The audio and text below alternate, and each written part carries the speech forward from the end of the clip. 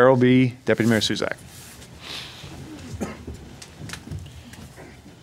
With all the things that are going on in the, in the local news and in the, in the national news, um, I'd like to have, have everybody try to reach in to any thoughts that they have on how they can find the strength to approach the challenges that we have and still keep a positive attitude towards one another.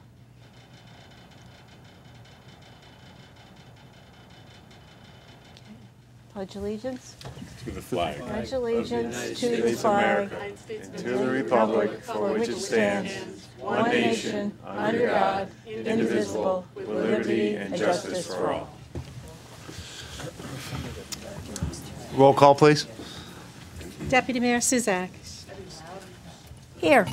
Councilor Ongare. Here. Councilor Arnone. Here. Councilor Bosco. Here. Councilor Cekala. Here. Councilor Cressotti. Here. Councilor Davis. Here. Councilor Denny. Here. Councilor Falk. Here. Mayor Ludwig. Here. Councilor Muller. Here. There's 11 members present, none are absent. In case of fire, we have the doors that are in the back. Please exit right or left from your seats in orderly fashion, or you can go out to the doors on our left, your right, out the first doors that are, will be to your left, go down the stairs, hook around the corner, and go right out the door. Item number five, minutes of the preceding meeting, special meeting March 5th, 2018. Do I have a motion to approve? So moved. By Counselor Falk, second by Counselor Muller. Any discussion on the motion? Hearing none, all those in favor by a show of hands? Those opposed, abstentions? 10, yep, okay. And regular meeting, March 5th, 2018. By Counselor Denny, second by Counselor Cressotti. Any discussion on the, mo- on the motion? Hearing none, by a show of hands, all those in favor? Opposed, abstentions? 10 and 4, one abstention. Item number six, special guest, uh, the folks from Rachel's Challenge. Please come up.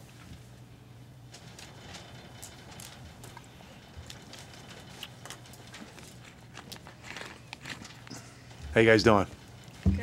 Is the red button on right in front of you? If you could, your name and address for the record, and it's, the floor is yours. Welcome. Hello. My name Is it shining red? Hello. There you go. Okay. What are you doing? Hello. my name is Kara Edwards. And my name is Eliza Alisea. we are the representatives of Rachel's Challenge Club at JFK Middle School. Today we are here to inform you about the kindness events our school has participated in. One thing our school did was the Super Bowl canned food drive. If you didn't know, the Super Bowl teams were also the school mascots of JFK and Enfield High School, Eagles versus Patriots. Each morning during homeroom A, students were allowed to drop canned goods in boxes of their choice, either the Eagles box or the Patriots box. Then at the end of homeroom A, that would be called the first quarter. Then the next day, quarter two, and the next day after that, quarter three. The cans at the end of each quarter would then be counted up to see which team had the most points. Then that team would be the winner. Um, at the end of all the quarters, the team with the most cans would win. And of course, the Patriots won. We donated 276 cans to the Enfield Food Shelf. We also have a random acts of kindness week at school. Each day we would have special things for people to do. Monday was Say Thank You Day. Tuesday was Wear Purple Day since purple was Rachel Joy Scott's favorite color. Wednesday was where we would take people's trays and throw them out. Thursday is where positive hearts slash words were hung up around the school. Across the school, they had positive messages that had like positive words to encourage students. Lastly, Friday is Random Giveaways Day. We give out candy, pencils, high fives, and etc. This allows students who participate in kindness activities to start a chain reaction. We also had Hat Day on February 9th. Each student that wanted to wear a hat had to donate a dollar to participate. We raised $128 for the Enfield Police Department for Special Olympics. Another fun week we have is Spirit Week. Each day is you wear a certain color or a piece of clothing to show your school pride. Last year, we did Spirit Week and we had a Mix Match Day, a Hippie Day, a Wear Your Wing Color Day, and a Sports Day. Many people participated in, uh, um, sorry, we also had prizes for the most enthusiastic outfits. We have 60 members currently in Rachel's Challenge. We also had PJ Day and we raised $835. This money was donated to Connecticut's Children Medical Center. We also going to paint rocks for Enfield Rocks Day, which is about spreading joy. we are going to put kindness words on the rocks and hide them all over Enfield, and then people can like pick them up, and their day will be better. Thank you for having us, and we appreciate your time. And, And remember to start a chain reaction. Thank you very much. Does anyone want to ask any questions while we have the two young ladies here? Good job. Nice job. Keep up the good work. Thank you. Go ahead, yep. Just wanted to thank you for all that you do with Rachel's Challenge. I think it's a wonderful thing that you do. I've gone to the high school programs and the ones at JFK, and it's so really, it's really important to all the kids, for all of us. So thank you, and I'm going to look out for those rocks. As always, when our students come before us, you guys spoke very articulately. Keep up the good work. Good job. Good job. Just one one more. Go ahead, Bob. Yeah. Uh, Thank you, girls, for, uh, for coming. I'd also would like to recognize the uh, advisor to your club, Miss Beebe, who could not make it here tonight. Uh, She does an outstanding job with you, and I know that each and every one of you uh, are committed to this, to this club, and keep up the great work. It's uh, an outstanding community outreach that you do have to all of, all of your events that are planned throughout the year. So thank you. Thank you. Thank you. Appreciate it. Thank you for coming.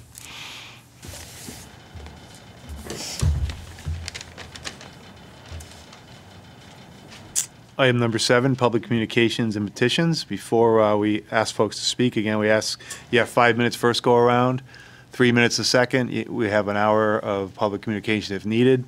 Again, we ask folks not to use uh, personalities, and I will recognize folks to speak before the council, just your name and your address. Anyone like to speak for the council, please? Jack?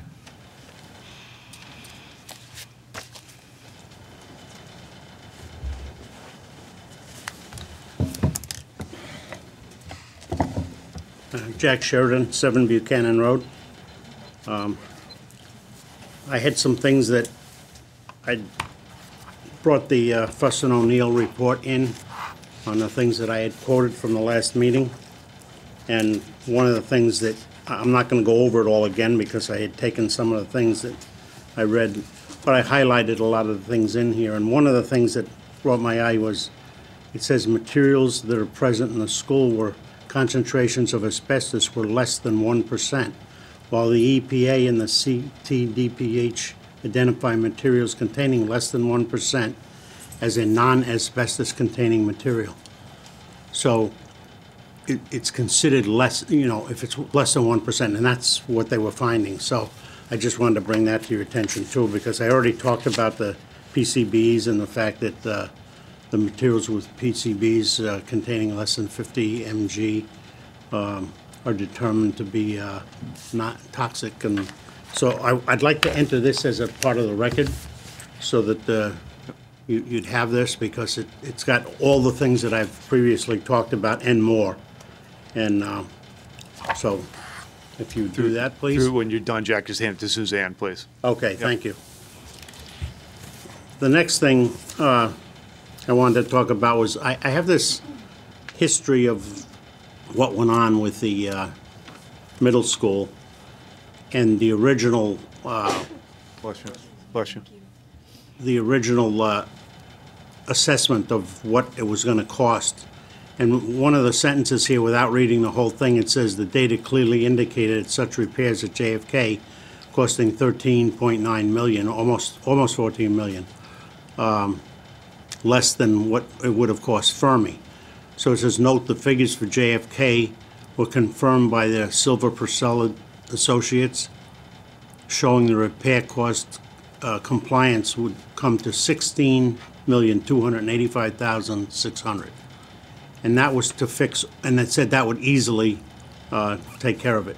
So I'd, I'd like to uh, let you know that that's, that- when you're talking about going from here, and in this same report, they go on to say that they're, they, they came up with a uh, $95 million deal to fix JFK. So how it got from, let's call it 17 million to uh, 95 million, I think the voters in Enfield realized that uh, what was happening and that uh, there's a little case of greed going on, trying to get more uh, grants that come out of my other pocket.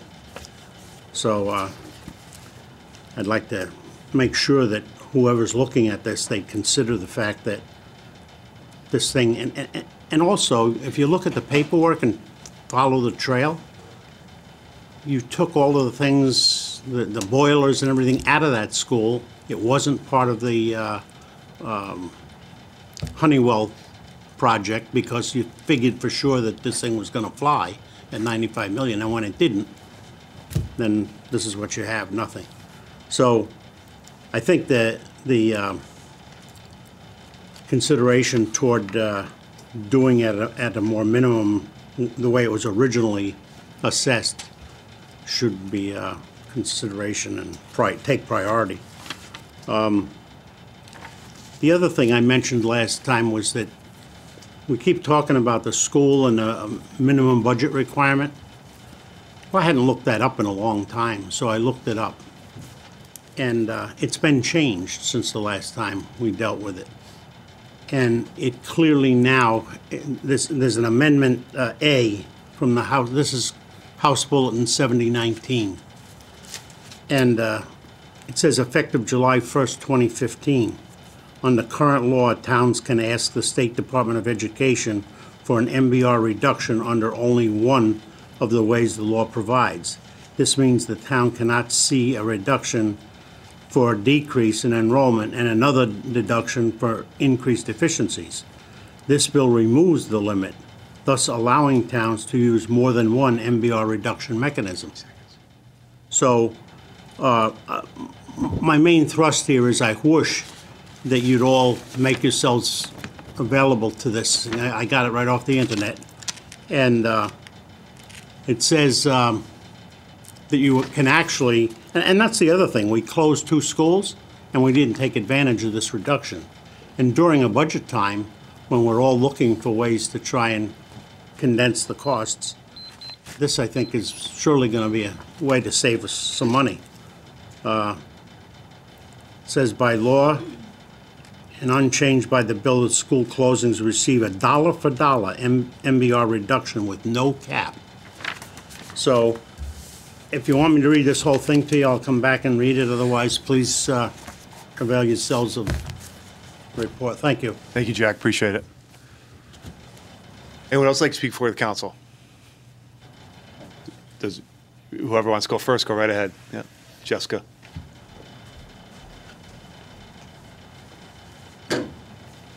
Hello. Jessica. Duga, 101 Cottage Road. Um, So I sent a letter to all of you on March 7th, and I heard back from some of you, and I appreciate it. And I wanted to make sure that all of you knew the content of the letter, so I'm just going to reread it for you this evening. And it read, Dear members of the Town Council, as you may be aware, on March 24th, 2018, there will be rallies held across the nation in support of March for Our Lives. March for Our Lives is a group whose primary focus is to demand that the United States government take steps to stop the now commonplace massacres in our society. It demands that loopholes in security checks be closed so that weapons do not fall into dangerous hands.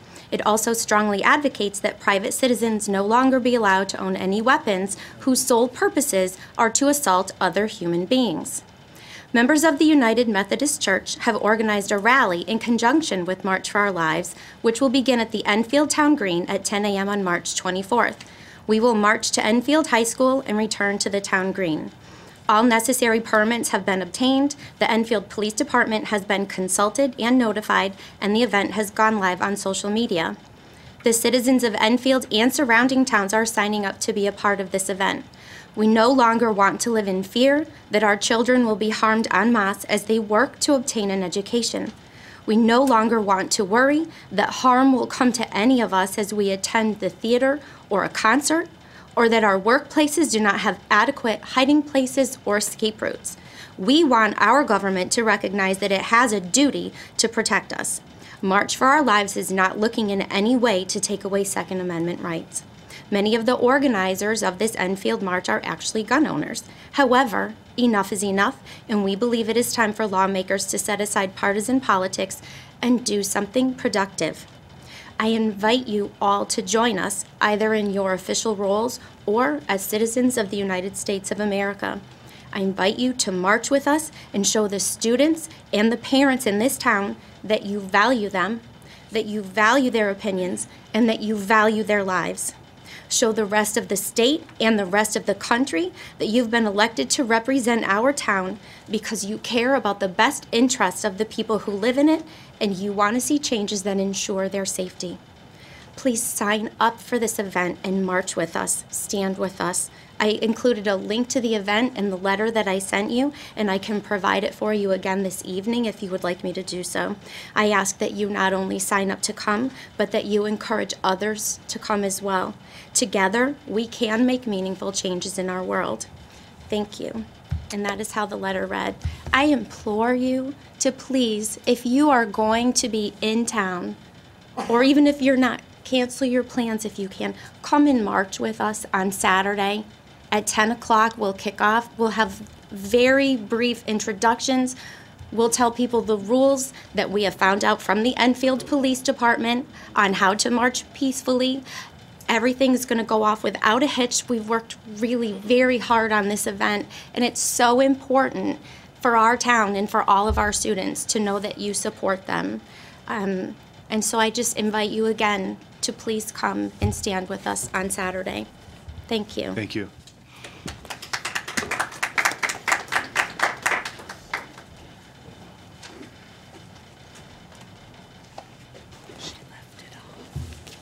How you guys doing? Welcome. Hi, my name is LeBron, 17 Light Street. Um, I don't want to be next. I do not like watching my mom cry over shootings. I do not want any schools to be a war zone. Every morning, there's a little thought that goes through my head Is it my time? Is it my day? I want the government to change the rules so that guns can only be bought after your background is looked at. I want gun I want gun that guns that are sold not to be military style semi-automatic. I would like bullets to be less powerful on the open market. I would like to make sure that the next person who wants to buy a gun has to wait long enough that if they were going to kill someone, maybe they would be found out before they were armed. By helping organize this march, I hope to change the way the government looks at students. We can be the voice of reason in a crazy world. That was the reason why I joined this push to put the march together. When your kids express those kind of feelings, you really have to start thinking that maybe you should stand up. And when I got the phone call from Jess of we could do this, I agreed with her. We had to do this. We can't just sit down anymore. When a 17 year old shows us the way, like they did in Parkland, Florida, we kind of, as adults, have to stand up. So, after a very short group discussion, we put together a sibling march that would coincide with the others across the country. The March for Our Lives is part of an ongoing protest against the violence in our schools and in our public venues. We are marching from the town green to the high school and back again at 10 a.m. on Saturday, March 24th. That's this Saturday. There will be no snow. There will be no snow this week. We are hoping for the community support. We are hoping to inspire our government to listen to all the issues and try to solve this problem quickly. And I don't know how to solve this problem. So many things go through my head every day. We just need a change made. We need to make our students safer. We need to make our public safer. And we need to limit access if that makes us safer. We need to be pro life with the lives that are sitting here in front of us. Thank you very, very much. Thank you. I appreciate you guys listening to us. Thank you. Good job. Anyone else like to speak for the council? Bob?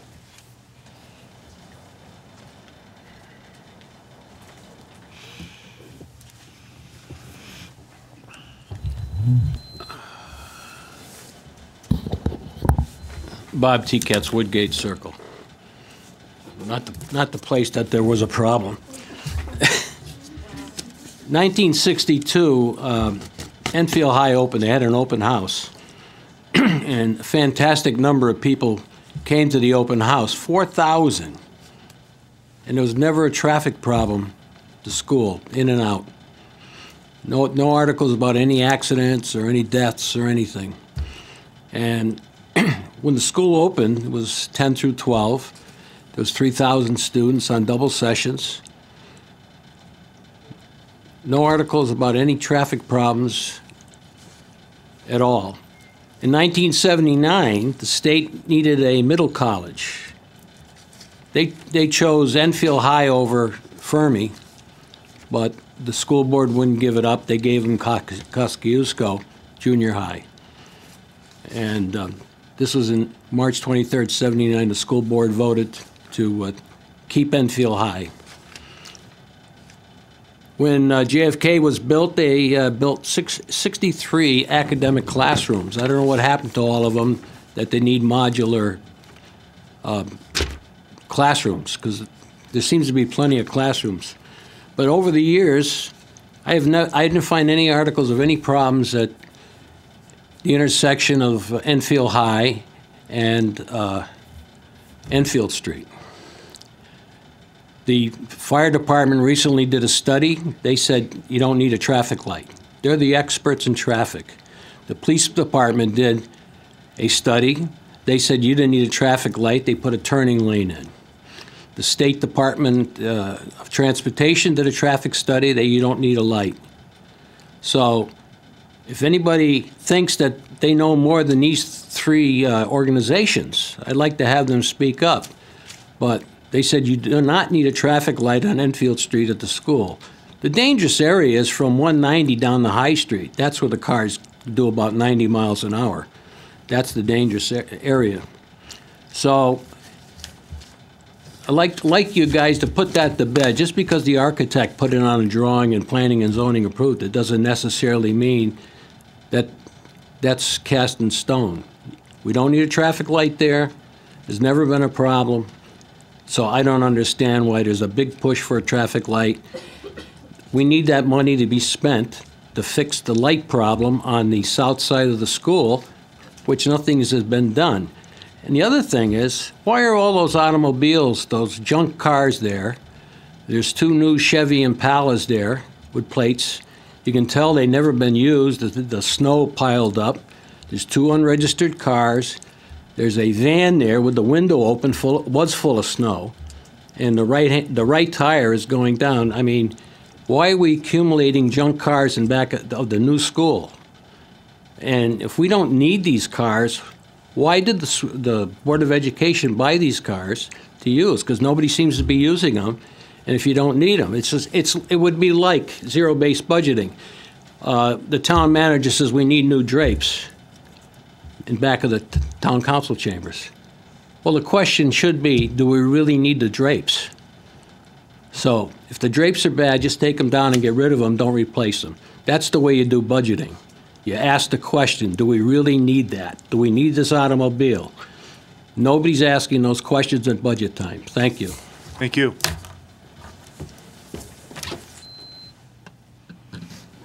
Anyone else like to speak for the council?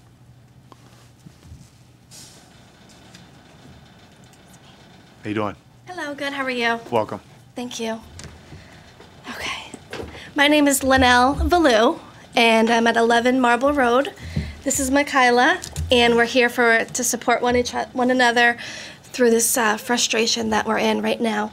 So my son is a student at Henry Barnard School. He's a kindergarten. Uh, he's in kindergarten, and can you hear me? Okay. Yep. Yeah. Okay. Is the red lights on? Yes, Yeah. thank you.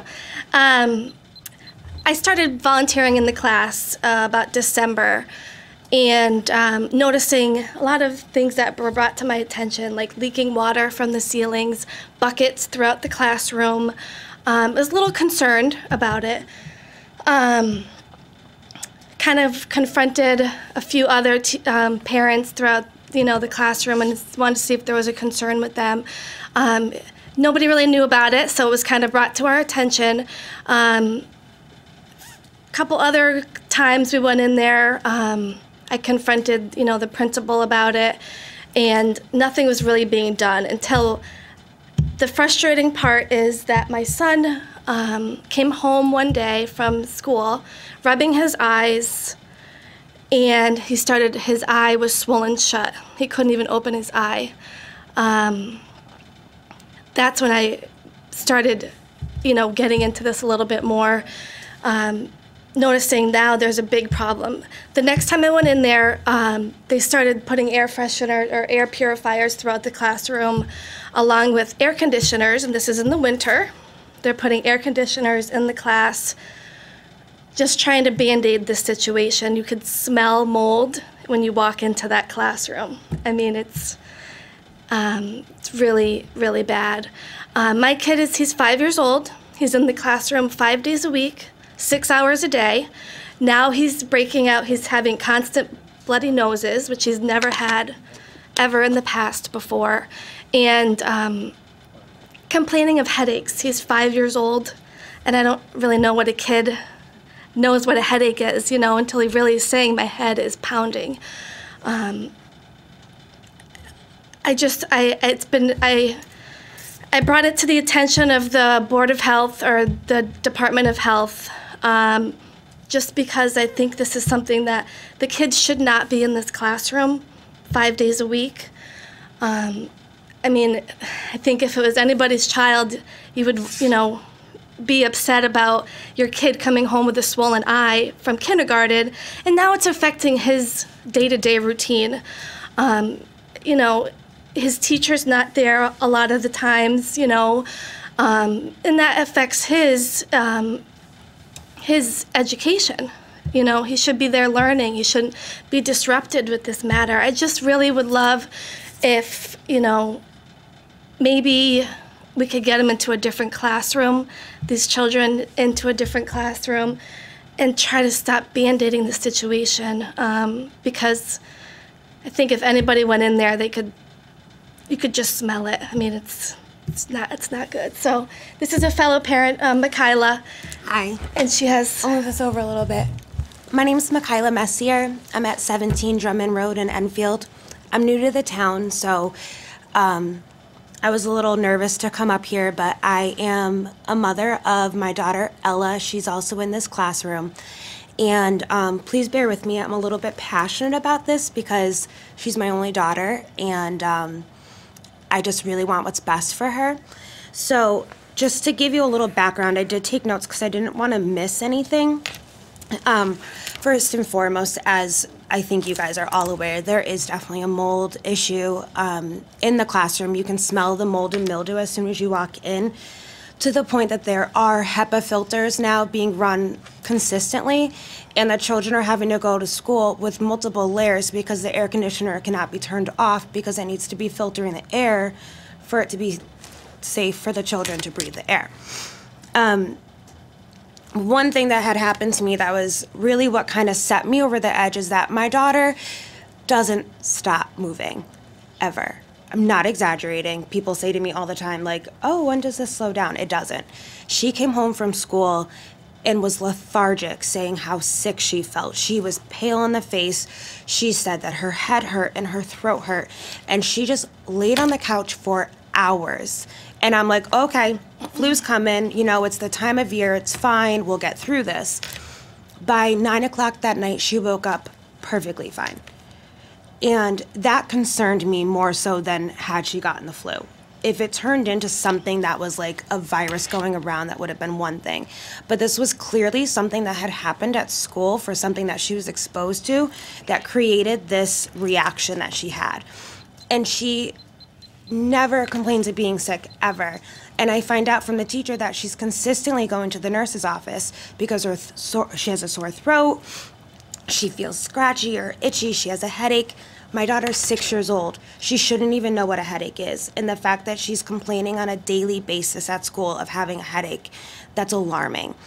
Um, I also volunteer in the classroom often. And recently I was in the classroom and brown liquid was dripping from the ceiling, splattering all over the children's artwork on the wall. I mean, it was splattered all over it and still splattered on the floor. The teacher had said that the custodian did come in and clean it 20 up. seconds left, sorry, go ahead. I don't mean to cut you, cut you off. 20 more seconds. Okay. The custodian came to clean it up, and when I brought it to the principal's attention, he brushed me off and said he grabbed the custodian. I feel as a tax-paying citizen that my child deserves a safe and healthy environment to have school. Whether they need to go to another school, if this is a bigger issue than just the classroom, it needs to be figured out. But I'm at the point of wanting to remove my child from the school because it's not safe for her health or any of the other four and five and six year olds in that classroom. It's not acceptable. Thank you guys for your time. Thank you. Thank you for your Appreciate it. time. Thank you.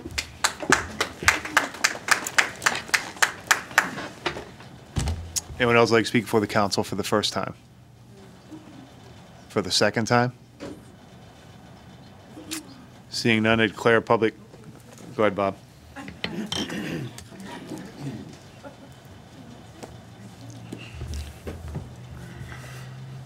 Bob T. Katz, Woodgate Circle. You know, I brought this up before. We need to spend the money on the elementary schools. When my parents were looking to move out of Springfield, we rode around every weekend to the different towns, looked at the elementary schools, and that's how parents do it today. They're more concerned with the elementary schools. They could really care less about the high school or the middle school when they have young children. They want that's their first priority. We have to spend the money in our elementary schools. If, if you want this town to grow and have people move in and reduce and more houses built and reduce the tax rate, we have to we have to change our priorities, and the town council has to act and do something. I mean, we're fooling around with JFK, JFK, and that's all we hear, JFK. How about fixing the elementary schools? Five out of the six elementary schools needed boilers. Six elementary schools needed new parking lots. We should, we should have a committee to see exactly what we need to do to make these schools safe. Because what will happen, you'll have a class action lawsuit against the town. You know, nobody's acting to do anything to fix the elementary schools. They're just getting lip service, and that's got to stop. That's where the priority is. The elementary schools, the, the town of Enfield, not the school board, is responsible for the maintenance of the schools. And that's when I was with Jack on the committee, we took that responsibility away from the school board and gave it to the town. And what did the town do? Roof, roofs are leaking, parking lots are, got potholes. It's a mess. If you look through those, what needs to be done, there's a lot of work that needs to be done, and that's where we should start. Thank you. Thank you. Jack?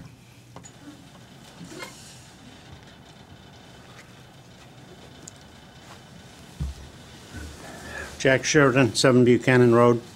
There's a couple things I shorted myself on before. Um, The Honeywell energy thing that we instituted. I was reading that over recently, too, and it talked about, uh, we we had just recently talked about tracking that and having you guys report on how that was going and what, if anything, savings and so forth.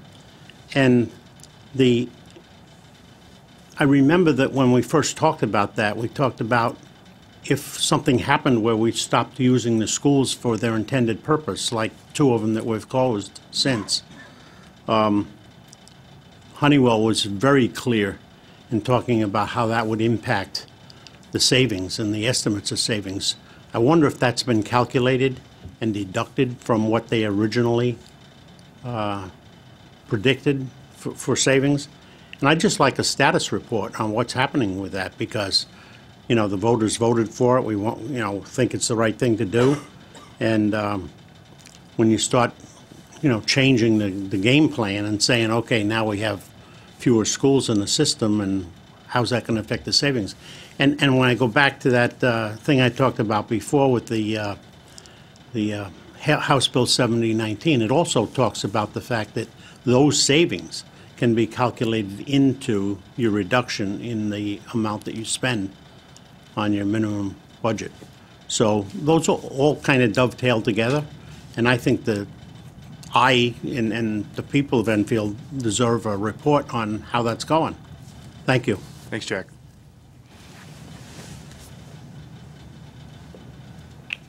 Sir?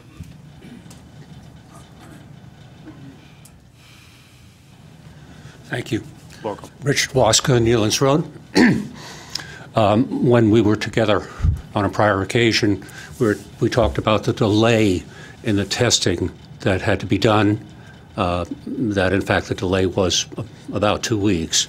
And at at the last council meeting, uh, my recollection is that the testing was imminent.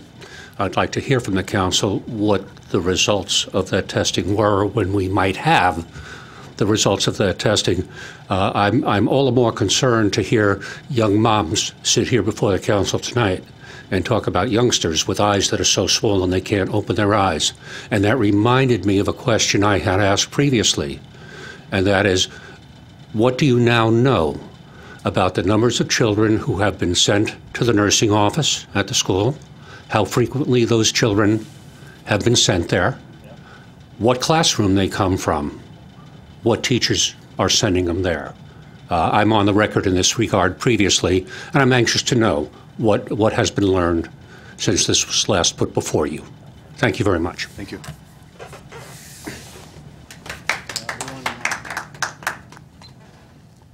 Anyone else like to speak for the council?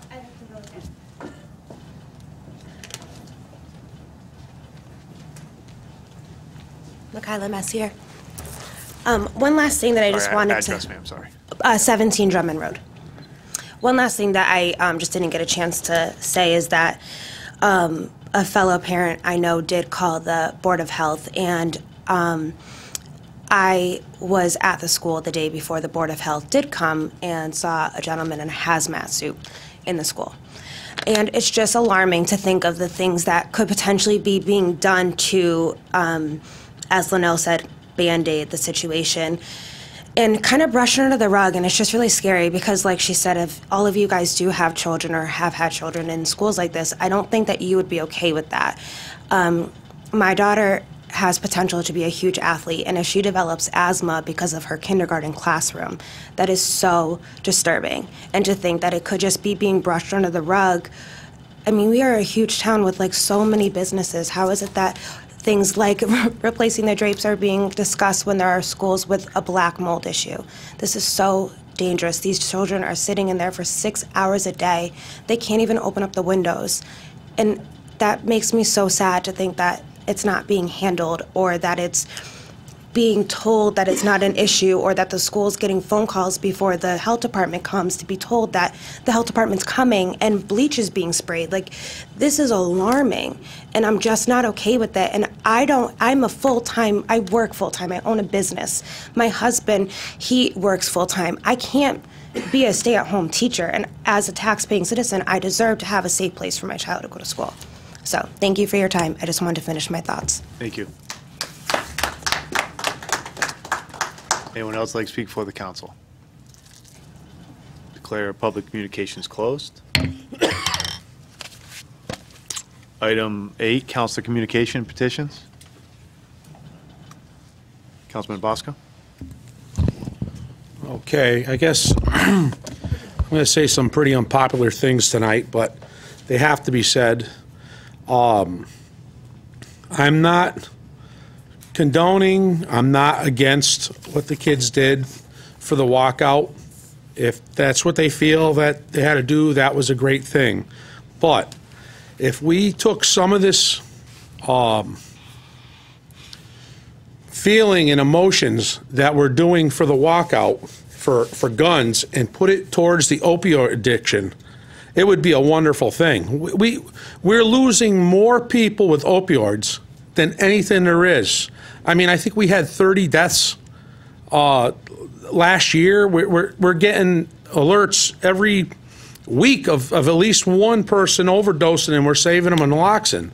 And I really think that it would be a great thing if, if, if we could all band together and put some of that energy also into something on drug addiction, because this opioid is killing people, and you know, it's a dirty drug and people think people deserve it, but I would say just about every kid in any of these schools are being affected by this. It happens to good families, it happens to bad families, it happens to just innocent people that get tied up because they went to the doctor and they got some prescriptions and their life is ruined for the rest of their life. And um, I think now we really need to start pushing and trying to do something on this. And like I says, if we just used a bit of what nationwide of what went on uh, uh, over a shooting, uh, uh, and I'm not, I'm not trying to downplay it at all, but we had 60,000 people die last year with over opiates, and we're not. It's not a big thing, and you know something, peer pressure does make a big deal, and I think that if these kids start pressuring their friends that are using this stuff, maybe something will change. And let me tell you, anyone that thinks they're safe on this opioid problem, they're living in another world because it could be your kid, it could be your family, it could be your husband, your wife. This stuff takes down everybody. And I, I really do feel that we need to, as a community, start getting together and getting around this too. It's fine to have a march if you if that's the way you feel about gun violence, but we should be having a march on the opioid addiction problem also and and tie all this in because we are our our, our kids, our family, they're dying. And they're dying in big numbers. And there's no no outrage over it. And, it, and it's pretty sad because these kids, I'm sure, know people that died of heroin. So it probably was the wrong time to say it with the other speakers coming in here and trying to um, talk about the gun violence thing, but it's really something that needs to be said. We really need to worry about this and take care of it because, trust me, it could be a family member and and, it, and it's going to take down people. Um, I also take offense to uh, what was said about brushing things under the rug. Nobody here is brushing anything under the rug. You have to send out samples. You have to wait for things to happen. And um, when when the, when the information comes back, everyone will know, and then we'll do the next set of tests if we need to. But you know, it, it is being worked on, and also. Bob made a joke about changing the curtains. Uh, we're, we're not having any intention on changing them curtains. Um, but I, I just really, I would love to see something happen on the opioids because it's really a scary thing. And uh, I guess that's all I have to say. Thank you. Thank you. Councilor Cekala. Um, thank you. Just a couple of things. Um, Jessica, Lee, Sue, um, thank you guys for coming. I will say that I will be there in spirit. Um, honestly, I wish that myself and my kids and my family could walk. They have a karate event, um, but I support you. I stand with you. I think it's a fabulous, fabulous thing that you're doing. Um, Linnell and Makayla, I'm sorry, I wrote it down right the first time, and then I like that couldn't be right. And Rich, um, please understand we are working on it. We hear what you say. Um, we hear your continued concerns. I will say that Councilor Davis has been really vocal and instrumental on this, so give her a lot of credit. She's she's cracking down. Um, and I'm hoping that if there is any update, that we will get it tonight. And I'm getting a nod, so hopefully we'll have something for you. And please understand, we are working on everything that we can on this side. Okay. Thank you. Councilor Cressotti.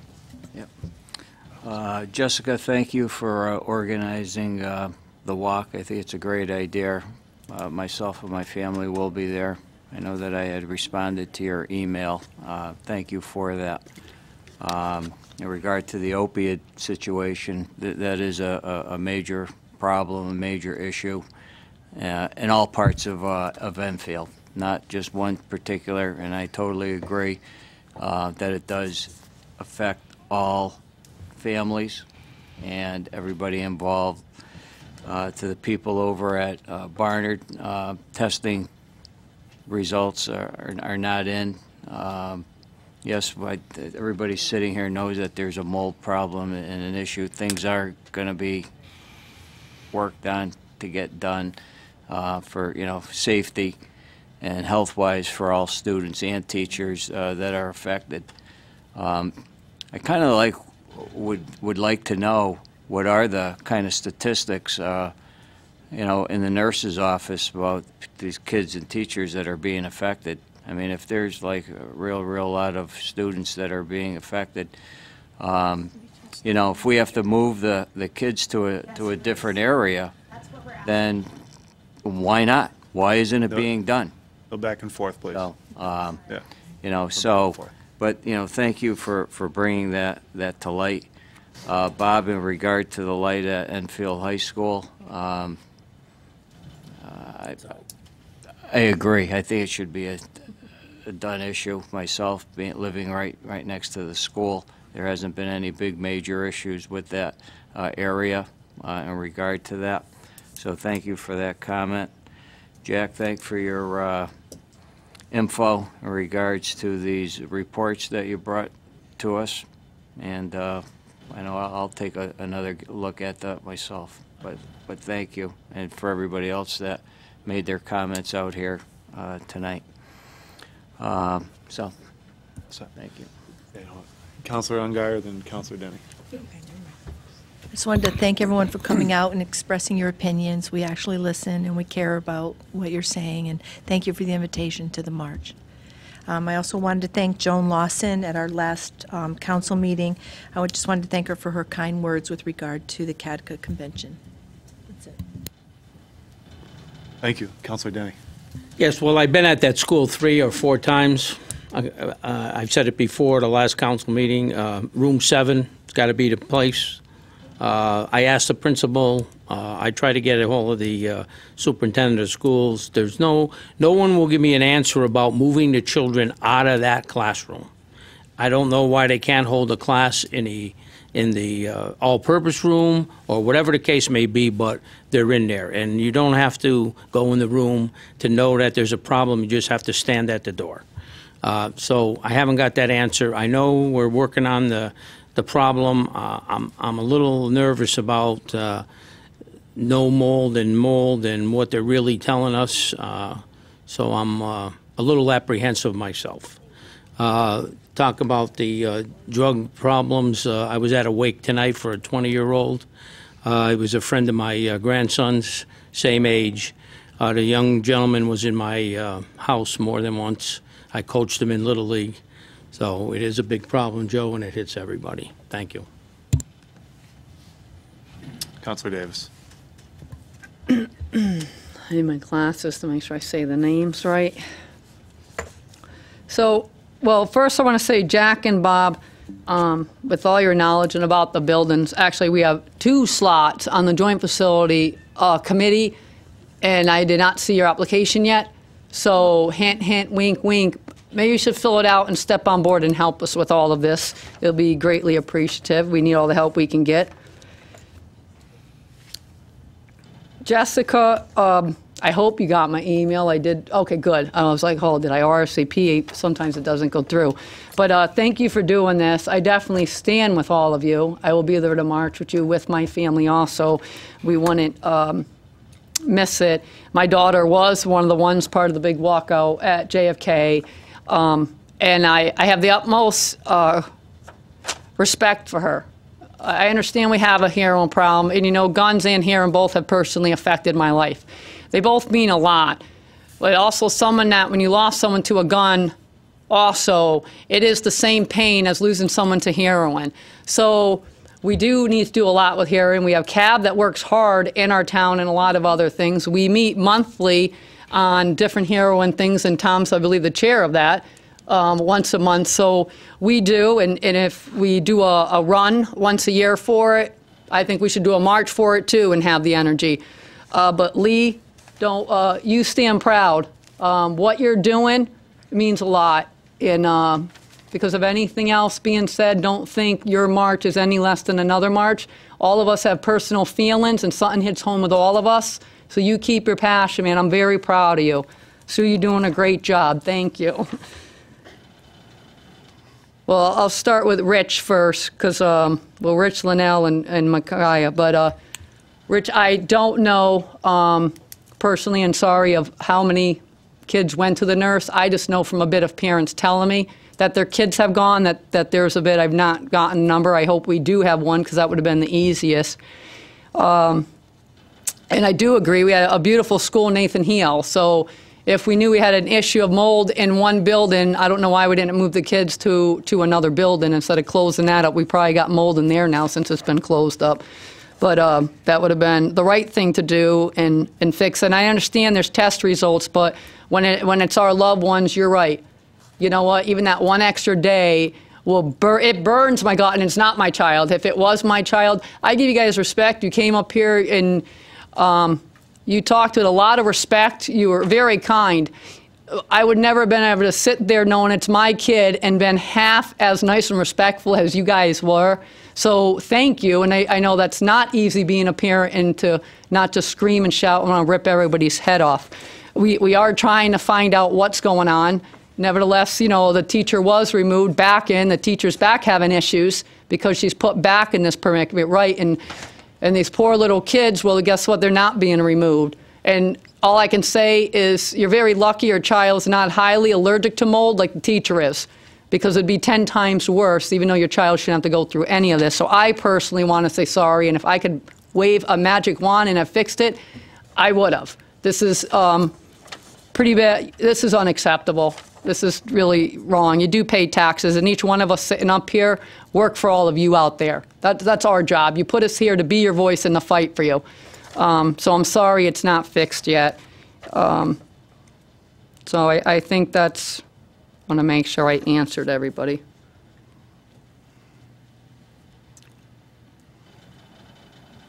Yeah, not putting it under. And Bob, I'd have to agree with this, the light. So I didn't want to miss this because the amount for that light, we can actually repair uh, five roofs on our schools. So I agree, we need to use the money wisely. We all work hard and pay our taxes. So, you know, thank you for coming and speak, and, and I'm hoping to see those applications soon. All set? Counselor Falk. To uh, piggyback on Joey, um, since 2000, the rate of people who overdose on drugs has been rising. Opioids now are responsible for more than 115 deaths in the United States every single day, according to the National Institute on Drug Abuse. Equally alarming is the fact that le- legitimate use of these pain relieving medications can pave the way for addiction and illegal activity. An estimated 21 to 29 percent of patients who are prescribed opioids for chronic pain end up misusing these drugs, and about 80 percent of those people use heroin, an illegal opioid. Uh, previously uh, um, misused prescription opioids as well. So, just a few facts. Thank you. Deputy Mayor Suzak. Okay. First of all, I'd like to announce that on Friday and Saturday is the Women's Club Ar- Art Show down at the high school. Friday night from 7 to 9, and on Saturday from 12 to 3. So be a nice um, event, see some of our work that our students have done and support them. Next weekend, on the 31st, is the Spring Splash down at the Scantic River by the Scantic Watershed. I was down there this weekend. The water's nice and high and fast, so the racers ought to come in really quickly. And as a, I guess with the high school, we just should clarify that the hmm. high school light, there's a lot of different costs out there, but all the costs are around a half million dollars, and the roof at Henry Barnard School is 1.6. So She has the floor. we have, we are putting in the grant application for the Henry Barnard roof through the facilities. It has to be designed. We are also looking to have an infrared done of the roof to try to at least make it stop leaking in the places that it has. It's gone long beyond its lifetime. We found the date. We have corroboration. The roof is over 30 years old, so it does need to be replaced. So with that being said, I mean, a lot of work is being done by the Facilities Committee to try to get stuff done. Unfortunately, every roof is beyond what we're able to do through CIP. So we as a council hopefully will work on getting a way that we can do the roofs in an organized fashion and probably keep our books in a little bit better order so we don't get into a situation like this after all of us have long gone from sitting on the council. So I like that, after that, I'd like to make a motion to suspend the rules and move item E to miscellaneous and proceed to vote. Second. Motion made by Deputy Mayor Suzak, second by Counselor Falk. Any discussion on the motion? Hearing none, all those in favor, by show of hands. Those opposed? 11 in favor, zero against. Anyone else like? I just want to publicly acknowledge Fire Chief Billy Provancher, Officers Maynard, Officers Garris, I apologize if I ruined his name, and Officer Maganoli, who went into the river and pulled a young, a young individual out of the car who unfortunately was making a uh, terrible choice, but they went in to the river and they pulled her out safely, and they all, fo- all four are unharmed. Just want to recognize on behalf of the town council their acts of bravery. I think it's great to show that, again, our folks do a great job. So, all right, Counselor Bosco? Yeah, I just want everyone to understand, uh, as much as, even if we had the money to repair the roofs, the problem is anything up over 600,000 has to go to referendum. So it's not like we could even do anything without going to referendum. So uh, it sort of does put us a catch 22. Move on to item eight, uh, excuse me, item nine, town council report. Excuse me, town manager report. Uh, Thank you, Mr. Mayor. Uh, Included in your packet is the project and activities report. Um, Just as a note uh, for Mr. Sheridan, um, there have been ongoing updates with respect to the Honeywell project included within that report, so those are um, available in the packet, uh, Mr. Sheridan, if you have an opportunity to look at that. Uh, But uh, at this point in time, we're nearing project completion, and we're getting ready to begin um, validating the system functioning uh, correctly so we can uh, clear and uh, move on. Um, With respect to several items that were talked about at the last council meeting, uh, I did want to address those uh, and was asked to do so tonight during my report. First, the, um, I'll address the issue of Enfield High School and the lighting and the lighting wash on Riverview Drive.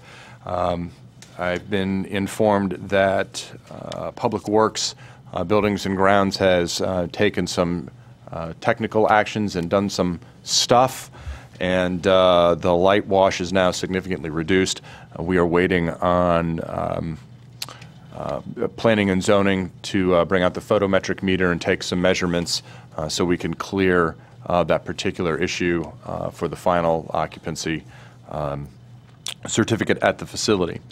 Uh, With regard to the issues at um, Barnard and a few other items, uh, on the uh, March 5th council meeting, Councilor Davis asked a series of questions. One was, uh, why was Public Works at Barnard uh, over the weekend? Uh, In response, the answer is that the electrician responded to a boiler fail alarm. The boiler repairs were made to ensure adequate heat and hot water for Monday morning. Uh, Councilor Davis then also asked, what did we do specifically to clean, uh, I believe it was uh, room seven um, at the school with respect to the air? Uh, Response to that comment, uh, uh, let's see, there was uh, several areas of capturing and properly cleaning leaks in the occupied areas, roof patching, repairs as needed, prompt replacement of water-damaged ceiling tiles, monitoring building ventilation to ensure maximum operation, dehumidification, north wings only, uh, application of mold mildew inhibitor spray above drop ceiling, uh, and that was also north wing only.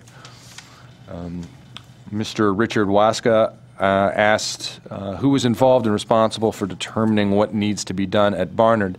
Uh, The response provided was it's a team effort. DPW works with leadership BOE, the school principal, in consultation with experts, consultants, and the health district. With request, uh, with respect to Mr. Waska's question, how much has been spent addressing the Barnard roof leaks? approximately $25,000 so far in this fiscal year. Uh, Dehumidifiers, $5,200. Ceiling tile replacement, $1,100. The mold survey was $1,000. Water damage material removal was $4,200 for an approximate total of $36,500. Uh, Mr. Waska also asked whether or not, uh, excuse me, why did DPW staff wear hazmat clothing while working at Barnard? Uh, The response is that the second shift custodial crew leader on occasion will help replace damaged ceiling tiles. He prefers to wear, quote, hazmat, end quote, coveralls to prevent residual dust and ceiling tile debris from falling on his clothes. This is not a requirement for ceiling tile replacement, but coveralls are available to staff if requested. Additionally, what were the results of the building mold survey? And this is based on a verbal report uh, that was provided by the consultant, and I should note that this memo is slightly dated March 13th. Uh, Small areas of water stain piping insulation and wood framing were identified above the drop ceilings around classrooms 7, 15, and 16, including the adjacent hallways during a March 6 survey. All materials were noted as dry during the survey. Stain was caused by water leakage through the sheet metal roofing deck. Discoloration was due to rust, dissolved materials, and possibly some mold. Recommendations were to remove water-impacted materials and to clean and seal wood. Note, air testing was not done. Federal and state health departments and the North Central Health District discourage mold testing as mold is present in all indoor and outdoor locations and concentrations vary widely daily and hourly. Recommendations are to always eliminate moisture to control prevent mold as most important step. Mr. Waska also asked what, if anything, had been done as follow-up to the survey. The stain piping insulation was removed, the stained wood framing was cleaned, disinfected, and sealed, and the leak points in the metal roof decking were spray sealed. Uh, Also, there was the question about what was reported to the school nurse. As per the superintendent, illness rates are no higher in those classrooms as for the remainder of the school. What complaints have been received was another question provided by Mr. Waska. As per the superintendent, none other than from one teacher, specifically classroom seven. Um, On other items, uh, Mr. Sheridan had asked with respect to the PCB lighting ballasts at JFK Middle School, uh, and those were addressed as part of the Honeywell performance contract. Uh, Then there was some also, uh, there were also some questions with respect to PCB abatement at JFK. Um, And Mr. Sheridan, I'll skip the long and get to the short. Uh, The EPA requires that all PCB containing material with concentrations over 50 parts per million be managed as PCB bulk product waste when removed under the Toxic Substance Control Act. Uh, In addition, once the presence of such material is confirmed, EPA requires building management steps to minimize occupant exposure, as well as planning for material removal. Similarly, DEEP regulates materials having PCB concentrations between 1 and 50 parts per million. Uh, Mr. T-Katz had asked questions with respect to the Enfield Street school gates being open during off hours. Uh, Custodial staff opens the gates at 6:15 and closes them at, uh, excuse me, 6:15 a.m. and closes them at 5:30 p.m. Monday through Friday for the bus entry and exit. Buildings and grounds crews uh, also worked on filling the potholes, which was another question uh, that Mr. T-Katz had uh, asked. Those are the responses to the questions that were presented uh, during the March 5th uh, council meeting that council had asked for a reply to. So uh, that's why we uh, read this memo to you on the record. More than happy to provide a copy uh, of this document to you via email later uh, this week, tomorrow morning. Uh, And uh, with that, more than happy to answer any other questions or concerns that uh, we're capable of. Any questions? Thank you very much. Appreciate it. Thank you. Thank you, Brian. Item number 10, a town attorney report. Thank you, Mr. Mayor. Uh, My office, we attended uh, an in-state and afternoon uh, update on municipal law put on by the Connecticut Association of Municipal Attorneys. It was very, very uh, informative. It's an update in regard to freedom of information, land use.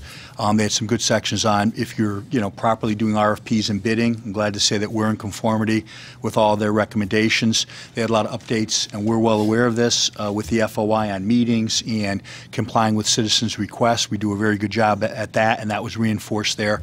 And also, it was very um, interesting, I think, um, gratifying. They talked about a lot of the land use cases that go up on appeal, and when towns lose, the reasons why. And a lot of it is miscommunication. They didn't get enough input from either their staff or legal people before they made the decision. So I'm glad, as I think I've told you in the past, we, we've conducted, and we have one more left with the ZBA, um, sort of a listening tour with my office and all of our land use commissions, chairman, vice chairman. Some have brought secretaries with. Um, our planning director and also our town planner, just to really talk, a lot of new people on board, and talk about what our procedures are, our policies, how to conduct hearings. And it's been very, very informative. They said that's one of the great ways to zone in and be able to give the education and the information to avoid a lot of problems. So I think it's been successful, and what it's leading uh, in this town, what we're going to do after I conduct the last one, we're going to have a lot of sample questions come forward, and we're doing a workshop because a lot of them have asked for training and we're going to be doing it. We're going to bring in a land use expert. We've done it in the past. We'll also have freedom of information um, uh, component of it with Mr. Hennick, as we've done in the past. But I think it'll really be a cohesive, uh, collaborative effort with all the land use people and our staff so that we're on the right page moving forward. Got a lot of new people. I'm very impressed by their commitment, their talent, um, and their real concern for the town as to why they want to serve. But they want the tools to be able to do the job right, which is very heartening. So I think we have a good group on all of the land use boards going forward, and I think we were able to talk out a lot of different things where they think there are things that have been lacking that they need um, to assist them, and we're going to help as best we can provide them. Brian's been um, helping me coordinate those and make sure that the staff has been there that works under his direction, um, which will culminate in the as I say, the workshop that we're going to be doing in June. We have some tentative dates, and we're going to continue the dialogue with the land use uh, boards as we go forward. And also, I've made uh, known to them, especially the chairman, just like we do, if they have questions, they can funnel them through their chair. Um, I, I sort of imposed a, uh, to be consistent policy that they go through Brian. Uh, so that he is aware of the questions uh, and what is being asked and what the concerns are of the boards and commissions. So I think we've done a lot of good in streamlining. And of course, as you know, towns, you know, that's where we get into trouble is on land use and, and going into court. It can be expensive. Um, it isn't good for public perception. It isn't good for business, being business friendly. And I, I find a lot of it is just not having the right tools or the information or the training to do, to do, to do the job uh, correctly. So I'm very um, happy we attended that seminar. That was reinforced, and I'm glad we undertook that a few months ago. I think it's going to um, reap dividends in the future for us and for the town. Thank you. Any questions? Chris, I just have one question. From the last quarterly meeting, the Mhm. gentleman asked about our standing in the solar panels out, you know, on the s- south side of town. Have we heard anything about that? I want to make sure that we have standing in that as well. The last, I I mean, I've talked to Brian, maybe as an update. I mean, there's a formal process that's triggered when applications are filed. Um, So I've been told that we'll be kept apprised when that occurs, and then we'll be able to advise the council and the appropriate agencies as to what we have to do to uh, intervene where we have standing.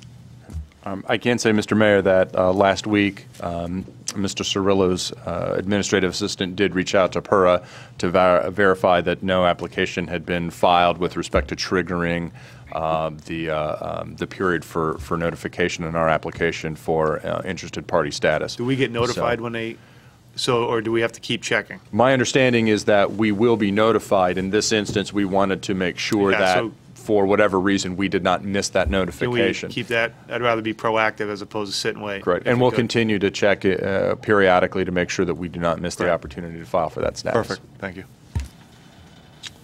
Moving on to item 11, special, report of special committees of the council. Any reports of the, our committees?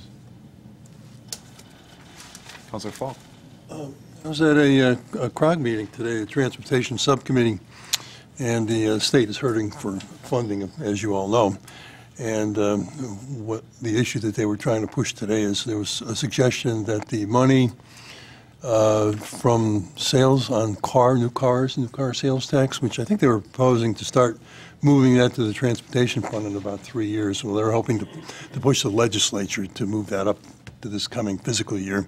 That's how bad they're hurting for money to, to do the road projects and, and all the other st- things that uh, CROG's involved with in the, in the uh, town of Enfield. So it's very important. Uh, I'll let you know what happens. Thanks. Councilor Bosco. Yeah, um, one of the things I forgot to ask at the DPW uh, committee meeting, um, where is our snow budget? Especially now with another nor'easter right on the door. So, uh, I mean, you probably can't answer me right now, but if you can get that to us at your earliest convenience, it'd be appreciated. Thank you. Counselor Denny. Yeah, Public Works, uh, just the council's information, uh, I forgot to, almost forgot. We uh, decided that the sidewalks in the northeast Thompsonville is a go, and uh, we decided not to bring it to the total council. The three of us just decided that we're going to do it, and that's, that's the- all. That's the purpose of the policy, so good Correct. job on your guy. Good job. That's all. Okay. Item 12, old business, uh, page one, appointments A, 1 through, 1, 2, or 3, we have none. On page two, items, four- excuse me, appo- uh, bless you, items 4 through 17, I don't believe we have any. On item, page three, bless you, items 18 and 19, we have none. On item B, appointments by the town manager, 1 through 12. No appointments at this time, sir. On page four, items C and D remain on the table. Uh, Item 13, new business, no consent. Item B, appointments, um, items B1 and B2, these are just, uh, still stay on the table. We have no appointments for town manager on C. D are are Planning and Zoning Commission. Item E, does that remain on the table? Item 14, items for discussion. A, we have no consent agenda, is A. Item B, appointments, town council, we have item one, prison, let me make sure, no, item one stays on the table. Item two, prison town liaison committee, the term of Gretchen Hall expired on 3/1/2018. Do we have an appointment or uh, nomination? Deputy Mayor Suzak. I'd like to nominate Gretchen Pfeiffer Hall for, um, to continue her work on the prison liaison. Motion made, second by Councilor Muller. Any discussion on the motion? Suzanne, just items discussion, I don't have to move this to miscellaneous, we can vote on it, right? New bit? Or should I move, we, New business, you can vote on. we can vote on it, right? Yep. Do we need to make a motion to close nominations? Motion to Uh, close. once, yeah, close nominations. All those in favor, say aye. So before we move. Okay, so I think we, that's what, I should ask that first. So maybe we withdraw the nomination? And then we'll have to move items, items, we have to make a, B two, three, and four. yeah, suspend the rules and move two, three, and four to, to I miscellaneous. thought new business could be. So it's items for discussion, it's not new, we, we can't, we have to move it to miscellaneous. Oh, Yeah. okay, you're right. it was- So, uh, please withdraw the nomination? I'll withdraw it. Motion to withdraw the nomination of Gretchen Pfeiffer Second by Hall. Counselor Muller. All those in favor of withdrawing the nomination by show of hands? 11 in favor, zero against. So I have a motion for items 2, 3, and 4, excuse me, 14B2, 14B3, and 14B4 to move to miscellaneous, suspend the rules. So Do I have a moved. second by Deputy Mayor Suzak. Second. Seconded by Counselor Denny. Any discussion on suspension rule, moving these to miscellaneous? All those in favor? Those opposed? We have 11 in favor and zero against. Items 14B, 5, and 6 remain on the table. Clean Energy Committee. Item 14C, any appointments from the town manager? Not at this time, sir. Appointment D for P and Z, council approved, we have none. Right, now we move, to item E's on miscellaneous, so we move to item 15, miscellaneous. So we can take the nominations on first, then move, okay. Just want to make sure we're following the rules. Item two, 14B2, Prison Town Liaison Committee. Again, do I have a nomination? Deputy Mayor Suzak. Motion to approve uh, the term of Gretchen Pfeiffer Hall for um, another two years as- on the prison liaison. Seconded by Dep- uh, Counselor Muller. Do I have a motion to close nominations? So moved. Counselor Falk, seconded by Counselor Denny. All those in favor by a show of hands? Those opposed? 11 in favor, zero against. Any discussion on the nomination? Hearing none, roll call, please. Deputy Mayor Suzak. Gretchen Pfeiffer Hall. Counselor Unghire. For. Counselor Arnone. For. Counselor Bosco. For. Counselor Cekala. Gretchen Counselor Cressotti. For. Counselor Davis. For. Counselor Denny. Gretchen Pfeiffer Hall. Counselor Falk. For. Mayor Ludwig. For. Counselor Muller. For. There's 11 in favor, none against, and no abstentions. Item B, 14B3, Prison Town Liaison Committee. The term of Nelson Rodriguez expired on 3/1/2018. Do I have a nomination? Counselor Denny? Nomination- Nomination of Nelson Rodriguez uh, for uh, uh, prison liaison. uh, until two, uh, 2/29/2000. So we have a motion of Nelson, seconded by Coun- uh, Counselor Arnone. Any, a motion to close nomination by Deputy Mayor Suzak, seconded by Counselor Falk. All those in favor, show of hands. Those opposed, any discussion on the main motion? Hearing none, roll call, please. Deputy Mayor Suzak. Nelson Rodriguez. Counselor Unghire. For. Counselor Arnone. For. Counselor Bosco. For. Counselor Cekala. Nelson Rodriguez. Counselor Cressotti. For. Counselor Davis. For. Counselor Denny. Nelson Rodriguez. Counselor Falk. For. Mayor Ludwig. For. Counselor Muller. For. There's 11 in favor, none against, and no abstentions. Item 14B4, Prison Town Liaison Committee. The term of office of Tim Slade expired on 3/1/2018. Do I have a nomination? Deputy Mayor Suzak? Second. I have to make a nomination Nominate. Tim Slade to, Nomination of Tim Slade, to for a se- another term on the cr- Prison Liaison Committee. Second. seconded by Counselor Falk. Is there a motion to close nomination? So moved. By Counselor Falk, seconded by Counselor Cressotti. By show of hands, all those in favor of closing nominations? Those opposed? We have 11 in favor, zero against. Any discussion on the main motion? Hearing none, roll call, please. Deputy Mayor Suzak. Tim Slade? Counselor Unghire. For. Counselor Arnone. For. Counselor Bosco. For. Counselor Cekala. Tim Slade. Counselor Cressotti. For. Counselor Davis. For. Counselor Denny is out. Counselor Falk. For. Mayor Ludwig. For. Counselor Muller. For. There's 10 in favor, none against, no abstentions. Item E, uh, discussion resolution, a resolution approving lease renewal for Education Resource Children, Inc. Be it resolved pursuant to Section 2, term of the lease by, by and between the town of Enfield and the Educational Resource for Children, Inc. The Enfield Town Council does- does hereby approve the renewal for the lease for one additional term prepared by the Town Manager's Office on March 12, 2018. So moved. By Counselor Falk, seconded by Counselor Cekala. Any discussion on the motion? Hearing none, roll call, please. Deputy Mayor Suzak. For. Counselor Unghire. For. Counselor Arnone. For. Counselor Bosco. For. Counselor Cekala. For. Counselor Cressotti. For. Counselor Davis. For. Counselor Denny is still out. Counselor Falk. For.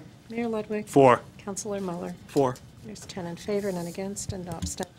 Item 16, public communications. Would anyone like to speak for the council at this time? Jack?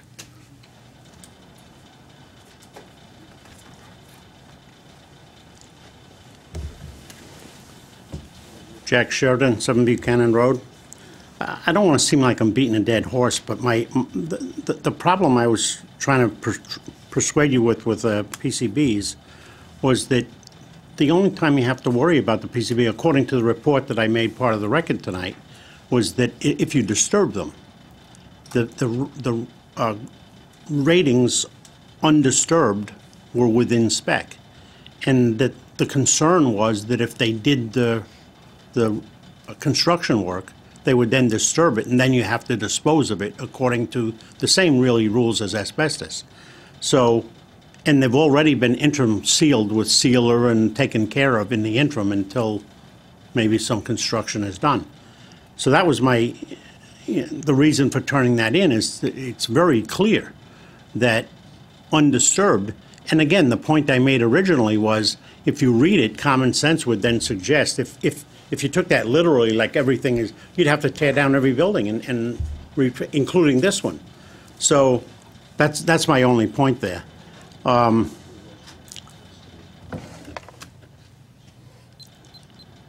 Oh, and then the report on the, I- are you saying I can get a copy of the report on the Honeywell? Is that online, or is it? You said, We'll, uh, we'll answer that, Jack. it said it was in the, uh, what'd you call it again, the uh, project activities report? Would I be able to get a copy of that? We'll, an- we'll answer that after. this. Thank you. That's all. Yep, thank you, Jack. Anyone else like to speak for the council? Bob?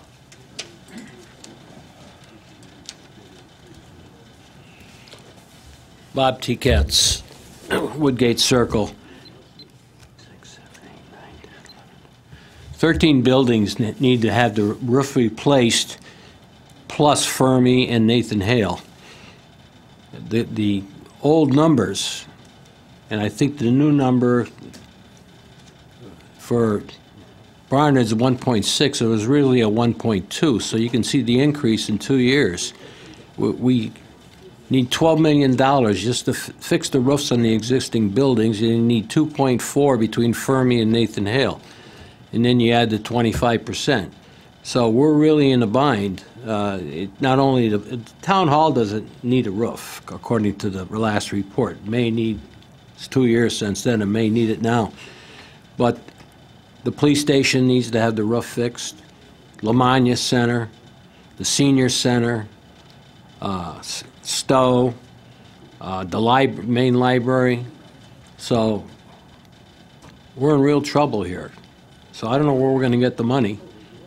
We should go have a roof referendum, we should have a parking lot referendum, uh, take care of those things that are most important. Those, those should be priority one.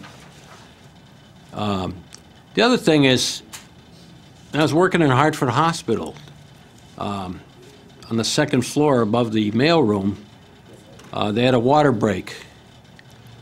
Of course, when there's water, a water break, the fire department has to show up because it could be an explosion if it hits the electrical. So the, every, every fire department responded, they had the hospital surrounded. But they had people in there immediately, taking out the water, all the ceiling tiles were down, they had dehumidifiers, they had, they were doing tests every day. They had the, the- all these rooms that were wet were sealed, nobody could enter them. It took two weeks to straighten everything out. But that's how the hospital reacted. But we don't seem to react. We let the people uh, in there and let them get sick or supposedly get sick. We don't react that way. Hospital has a different reaction, the way they do things, and we should be reacting the same way. We should not allow people into areas where the roof is leaking, there's water coming in, because it's, it's potential of fatality. So I, I don't see why we don't respond in a, in a better fashion. I think we're responding like it's no problem, and that's not right. Thank you. Thank you. Anyone else like to speak for the council? Hearing none, public communications closed. Item 17, council communications. Brian, just, I thought the report for Honeywell wasn't going to be ready till the summer, the final report, is that correct? So to your point, that is correct. So right now, they are, the, the work is being finalized. They are getting ready to commission the system, so they're going to bring in, in the next two to three weeks, they'll bring in all of the appropriate equipment to gauge that, you know, the heaters are heating to the certain temps, that the, the cooling units are cooling to the certain temps, and then they'll clear the system after they benchmark it. And we're going Um, to have a presentation before the council, and that's at some, some point. Uh, Correct. So we'll have that for you, Jack, at that point. Correct. Okay. Thank you. Yep. Counselor Davis. Through the mayor to the town manager, can I get a copy of the work orders of what was done at Barnard? All the stuff you read off to, because it should be down in a work order. Thank you. Anyone else? Do we have a motion to adjourn? So moved. Counselor Fox, second by Counselor Underwood. All those in favor? 11 in favor, zero against. Meeting's over.